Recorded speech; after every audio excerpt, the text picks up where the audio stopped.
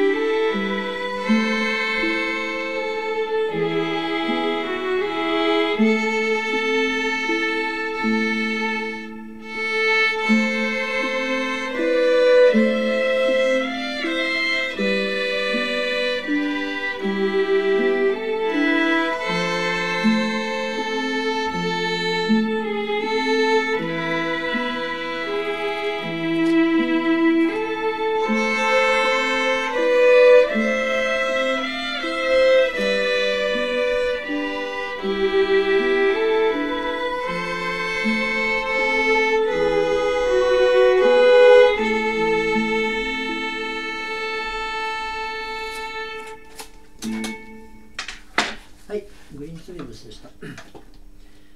まあまあいい感じに弾けたけどいつも音程がずれそうになるずれてしまうそういう指がなんかあって、うん、ちょっとそこにフォークでいいから意識をちゃんと向けてやったらいいですよね。